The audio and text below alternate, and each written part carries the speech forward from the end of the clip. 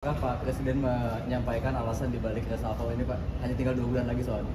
Nggak ada. Saya juga nggak mau. Aman ini kan jabatan kamu amanah dan soal reshuffle mengganti apa itu sepenuhnya kewenangan hak prerogatif itu hak prerogatif presiden. Jadi makanya seperti yang dua hari lalu saya katakan karena memang sudah kita sudah menangkap sensi itu dan saya sudah tahu. Saya katakan saya lebih dari apa lebih dari siap. Bahkan saya sudah menyampaikan ke ajudan, ke beberapa staf yang saya percaya, be ready, siap-siap. Barang-barang saya sudah sedikit kemas-kemas ya kan, biasa.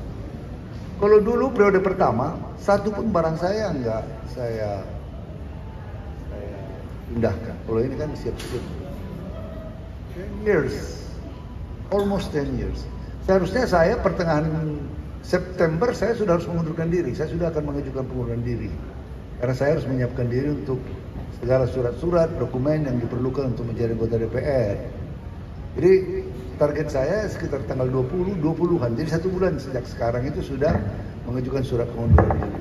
So, sudah sangat siap lahir batin. Dan apalagi yang meneruskan, saya tahu orangnya meneruskan pending matters, hal-hal lain dan menjadi pemimpin yang baik di kementerian.